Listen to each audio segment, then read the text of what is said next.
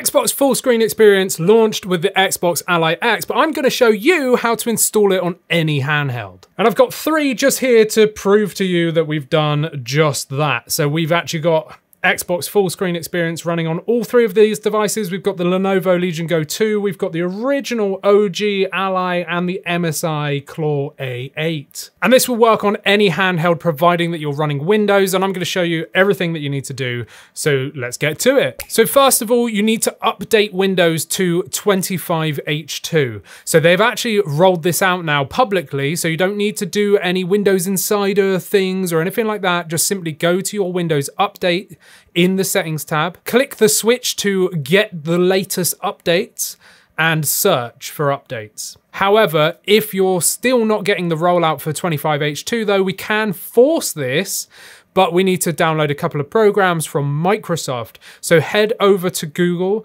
and Google Windows 11 Installation Assistant. Now this is an official Windows installer, so don't worry, just make sure you go into the Microsoft link. I'll link it in the description as well. Now when you install and try and run this, it will tell you that you need to install PC Health Check app from Microsoft as well for it to work. Now you can either do this on that little pop-up window as you try and install via that first installation assistant that we've just installed, or you can manually separately download it. Again, I'll leave a link in the description, but it is probably just easier to click the get the health check app whilst you're trying to install the assistant. And then once it's installed, that installation will continue. And don't worry, that installation assistant isn't going to like wipe your windows and completely format your device or anything like that. It literally just forces the update in. Everything else will remain the same. So now you've got 25H2 installed, we need to go and download ViveTool from GitHub. Link in the description again, but just simply go to Google and type in ViveTool, and then you should see the link to GitHub.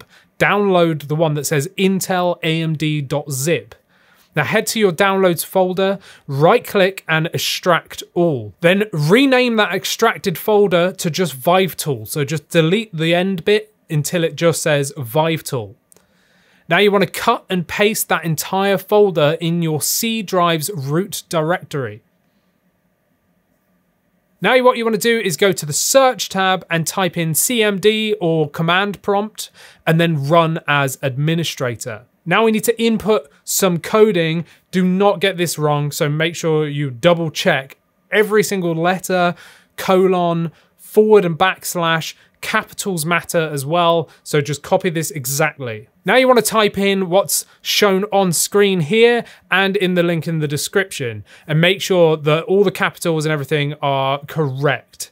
Now, once you've typed that in, press enter and then type in vivetool.exe forward slash enable forward slash ID 525-80392. Press enter again and you should see a message saying that this successfully set feature set configuration. Now we need to type in vivetool.exe forward slash enable forward slash ID colon 5090260. Press enter again and you should see another message saying successfully set feature configuration. Now we need to close down command prompt and then go to search and search for regedit or registry edit and then go to computer, HKey local software, Microsoft, Windows NT, current version, OEM, and then double click on device form and ensure that the hexadecimal value shows 2E. Now you can close that down and now you can restart your system as well. Now you've restarted, head over to settings and then the gaming tab, and now you should see full screen experience as an option.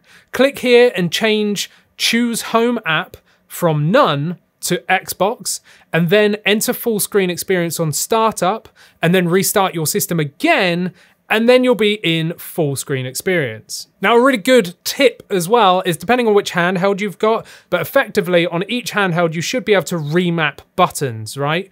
Now with the MSI Claw just here, this is actually really cool because they've already manually input MSI quick settings into game bar, so I've not had to do anything here. And the best bit about this is if I press and hold this, it does actually bring up the switcher.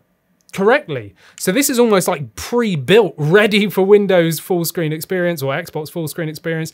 This is really cool. This is the easiest one because you do nothing. You don't need to do anything. It's just already programmed. That's really, really cool. And you've already got all your quick settings in Game Bar, which I really, really like.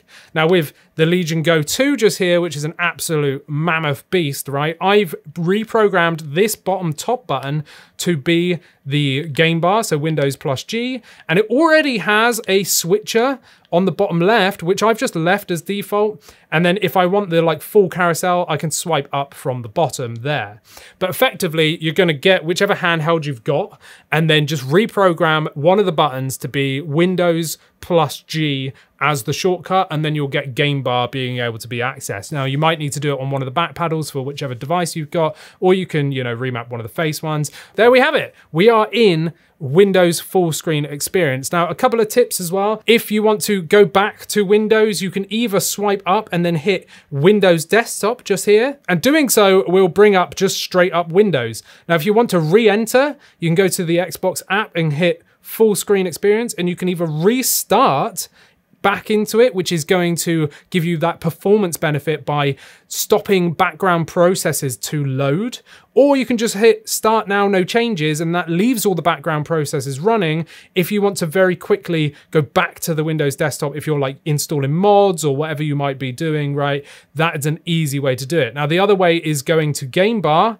and then heading over to settings, and then you can enter full screen experience here.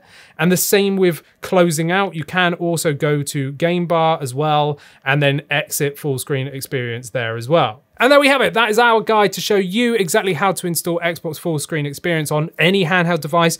I've actually done this on loads of different devices and it works absolutely great. I'm a big fan of it actually. So let me know your thoughts down in the comments. Obviously this will roll out officially next year for these devices without needing to do this Vive tool hack, right? But for now, it works absolutely fine. So go down there, like this video, subscribe, become a member, and you get to chat to us over on our private Discord. And I'll see you in the next one. Thanks for watching.